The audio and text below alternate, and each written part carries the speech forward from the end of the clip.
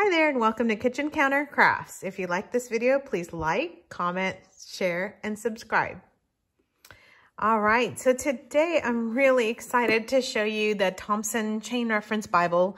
And this is now my go-to Bible. And I will tell you, I got it a few months ago, I think in springtime. And the ESV is not being made right now. They are back ordered out of stock at Kirkbride. They're having some issues with COVID and so it's delayed shipment and delayed all kinds of stuff. So um, just in case you get this from like another book place or like a used bookstore or something like that, here's the box information.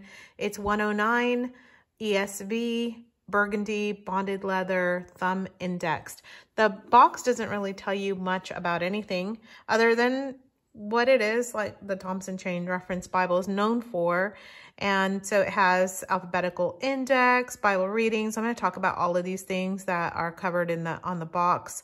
Harmonies, illustrated studies, concordance, Bible maps, things like that. On the back, it does not give you much information on the font and things like that. So I did some research for you to help you figure out what is included in this. And so this just tells you like text samples from the KJV, NIV, NKJV, but this one is my ESV, which I'm so excited about. And the reason why I'm excited, by the way, that's Kirkbride Company. The reason why I'm excited about that is, oh yeah, and this is just a like a clamshell box. Uh, it's because I do my Bible memorization in ESV. And I read a long time ago that one of the things you want, want to do is to keep your versions the same so that when you are looking at different Bibles that you are able to then compare them and have have just be memorizing the same stuff. So I wanted the Thompson chain to be in ESV because I use it to prepare for my women's Bible studies and things like that. So I wanted it to have some sort of consistency. I'm going to just zoom in on this a little bit. So here are my facts on the Thompson chain, and I'm also going to have it in the specifications down below in the video. And the Thompson chain is a super interesting Bible. If you've never experienced a Thompson chain, I'm going to just kind of cover it as we go. But it was developed in 1890 by Dr. Frank C. Thompson, and he spent ages, decades going through this. And I, again, I'm just excited to show you what is in here because it truly is the best way to study your Bible. And it is just a, a treasure trove of information. And it is called a Thompson chain because it has chain references. I'm going to go through those in just one minute. Um, so this is bonded leather. It is burgundy, kind of like a brownish though to me. And on the side, it has the gold stamping and it says Thompson Chain Reference Bible, ESV red letter, and then Kirkbride for the publisher. No distinguishing marks on the back. It's it's not that flexible just because it is cheap bonded leather. It's glued down. There's no sewing. I don't know what that is.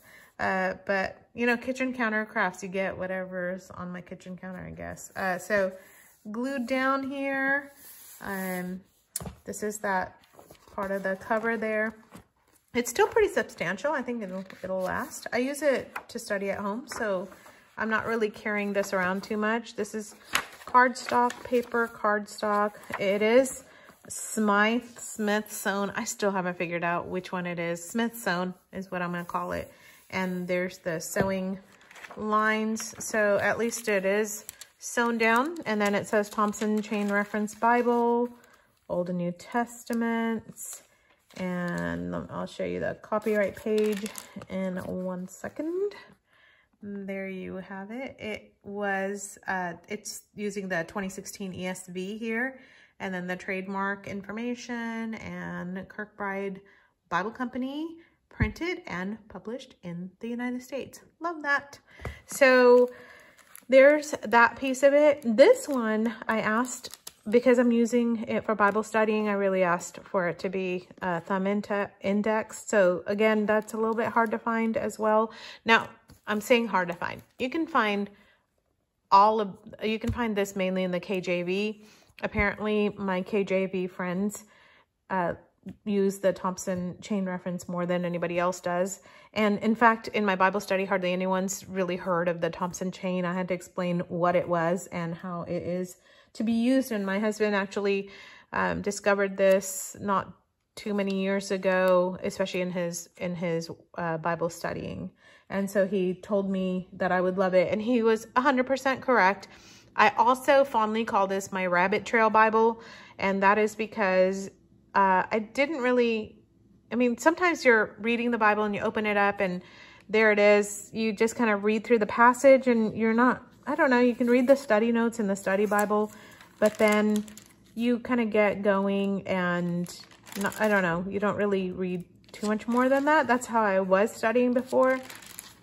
But the Thompson chain is unlike any other Bible because it is going to tell you all kinds of different places to um, go to. So that is what the chain is. So chain reference means it's going to give you the verses from Genesis all the way to Revelation.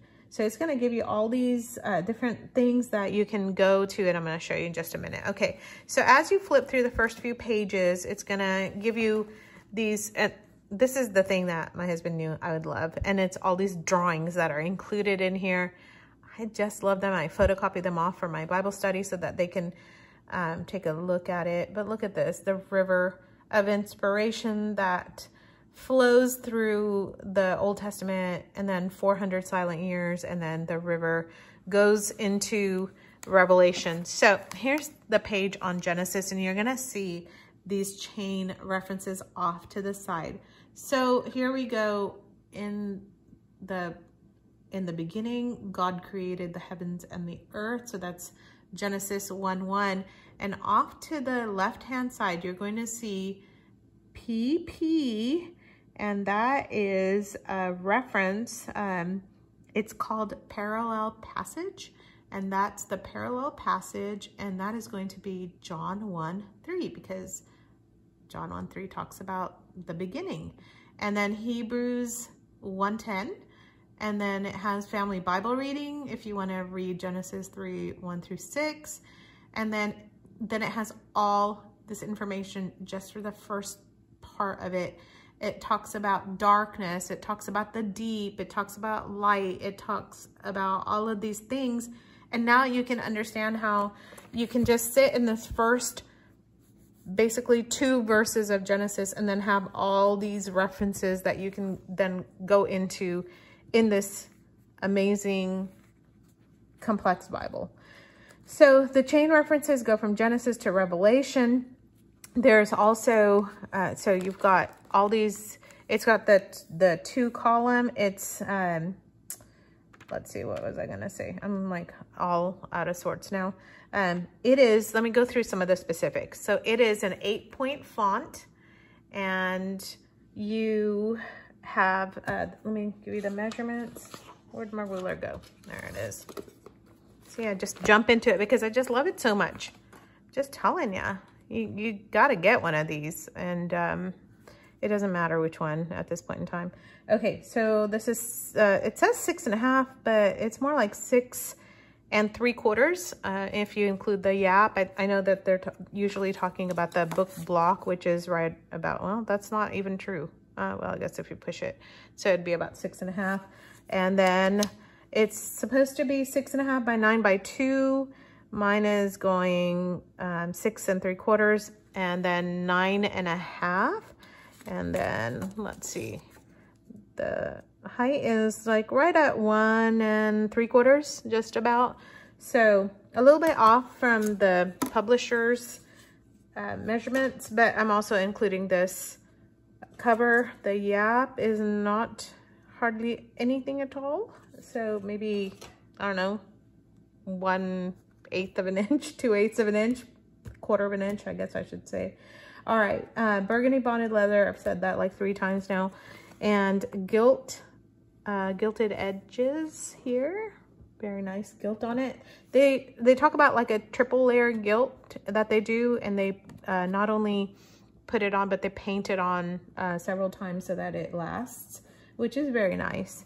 And then the gilt lettering, the gold lettering on the sides. I already talked about no spines on the side. It's not no raised uh, spines here. And then published in 2016 by Kirkbride. Oh, the ribbon, there's only one ribbon here and it is a double-sided silk ribbon, apparently. It does not feel like silk to me. It feels pretty, pretty flimsy. And you're probably wondering then, Mona, what are these other ribbons that are hanging out? Well, I'm gonna show you because one of the things that I do is I've been putting my own ribbons into Bibles and I'll do a video on how to do that. But in the meantime, here's what I do. I have this little, I sew. And so I just took a scrap piece of fabric, glued some ribbons onto that, four to be exact, and then just tuck that into my Bible so that I have extra ribbons. But it is annoying that there's only one ribbon, especially you're gonna be using this thing to study, so that's a problem. Um, let's see, thumb indexed, uh, Smith Sewn, red letter. Let me show you the red letters. Whoa, went way too far. There we go. Red letters, let's go in on that. The red is, I, I know it says red letters, but it's kind of a pinkish. I know that's being very, very petty, but it looks a lot redder in the video here than it does in person. Uh, but it is red letter, which is nice. And then the Thompson white paper, I don't know what the GSM is, but I'm gonna guess it's about a 28 GSM. It's, it's fairly thin. There is quite a bit of ghosting. It is supposed to be line matched, but I'm gonna tell you, I was trying to figure that out on my own and it was hard to do that, but there it's, I don't know if it's line matched or not. I'm gonna guess that it is, but there is a lot of ghosting. Can you, can you see through that? I think, um, well, I can see, I can definitely see the other side coming through. Yeah, you can see it a little bit on here. All right, so there is ghosting. That's pretty bad. Then there's this cockling sound. I like it. My husband freaks out. It's pretty bad. I like it. Uh, I But I do paper crafting, so I like crunchy paper noises. It just adds to my I don't, I don't know. I just like paper. So I don't mind that. He said that if that was his, he would return it, send it back. And he is very, very um, snobby, I think, when it comes to Bible. I'm doing that just for him. Okay, so crunchy cockling sound. It has burgundy and gold head and tail bands. Very pretty, actually. That's that's kind of the nice nice touch. Oh, there's my my prairie ribbon. There you go. You can see it. Probably shouldn't do that. Probably should be a little bit more careful with it. All right, so that is uh, the specs. And again, I'll have them down below, but let me use my handy dandy tabs to get to the next part here. So you can see the, the uh, book heading. Then the chapter heading is pretty big. They're double column with all the helps and um, stuff on the, the chain on the side. And then um, that's the pretty consistent throughout. So I'm just gonna flip to the back because really that's where all the fun begins. I, I love this Bible and it stays right here uh, in the family room and I'm always flipping through it and taking a look at it. But this is really what I use to study. So this was the last page of Revelation, Revelation 22, 21. And that's where the fun begins. So here we have the Thompson Comprehensive Bible Helps in nine departments in all caps here. So you have a alphabetical index, and then you have numerical index of chain topics, outline studies of the Bible, Bible character studies, harmonies, illustrated studies, archaeological supplement, Hebrew calendar, concordance, and the maps. So let me go through this. So you have an alphabetical index. Okay, everybody's got an alphabetical index. That's not that big of a deal. But then you get to this numerical index of chain topics. And I think I'm going to have to do a different um, video to show you how that piece works. But basically, if you follow their directions, you should be able to um, figure out how these um, index indices work. So there is a page number and then you have the index number and that's where things kind of get a little complicated complicated. So like, for example, this is page 1539, but on the top of this page, it says glorifying God 1423. So the chain number is different than the page number down below. And that is kind of how you have to go. So I, let's see, numerical index starts on 1423, which is the page number. Mm -hmm. I should have put a bookmark there, but you know what? I'm just going to say, oh yes, I meant to do that because I wanted you to flip there with me. Numerical index of chain topics. And then here it starts with Aaron or AA Ron as he is known in my family. So uh, principle of Bible study, uh, the, there's also best method to study right before that. So they give you all kinds of wonderful ways to study. And that is just on how you can do it by topic. You can do it by the book. You can do it by the biographical sketch of the person. So it also has outline studies. Let me flip there, 1791. Mm -hmm. All right, 1791. All right, there we go. And so look at this. This is just, how amazing is this? Just wonderful. Seven editions of Divine Law uh, from Psalms, Romans, Exodus, John, Romans, Hebrew, and Hebrews and Second Corinthians 3.